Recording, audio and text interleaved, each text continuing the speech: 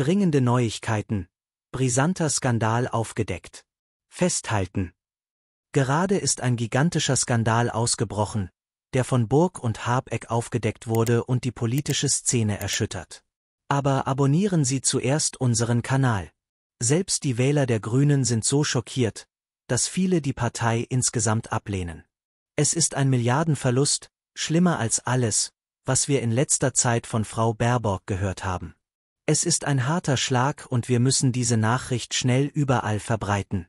Sogar die Wähler der Grünen erkennen, dass die Strategien der Partei nicht so gut für die Umwelt sind, wie sie einst schienen. Diesmal geht es nicht um die Schließung von Atomkraftwerken oder Gasterminals, sondern um einen ganz anderen Skandal. Selbst Radwegprojekte in Peru und die Kosten für Maskenbildner sind mit dieser neuen Katastrophe nicht zu vergleichen.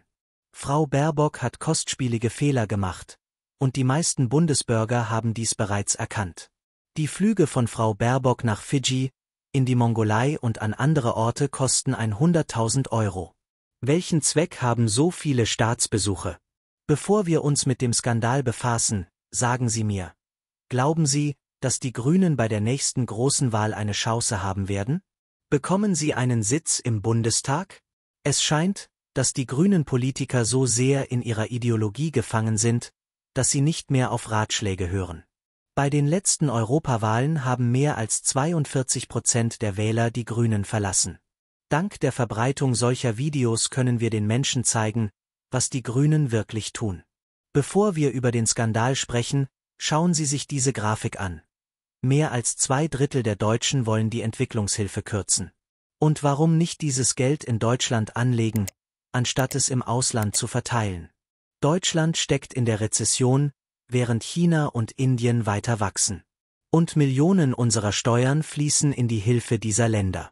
Kürzlich stellte sich heraus, dass diese Umweltmaßnahmen in China möglicherweise Schäden in Milliardenhöhe verursacht haben. Ein riesiger Betrugsskandal ist aufgedeckt. Die Bundesregierung verschwendet Milliarden für gefälschte CO2-Zertifikate. Wenn Sie CO2 produzieren wollen, müssen Sie für diese Zertifikate bezahlen aber wir haben festgestellt, dass viele dieser Zertifikate gefälscht sind. Das Umweltbundesamt ist in einen riesigen Betrug geraten. Und wissen Sie, was schlimmer ist? Sie überprüften nicht, ob die Projekte tatsächlich durchgeführt wurden. Und du, was denkst du über das alles? Sollen wir weiterhin Steuergelder ins Ausland schicken oder mehr in Deutschland investieren?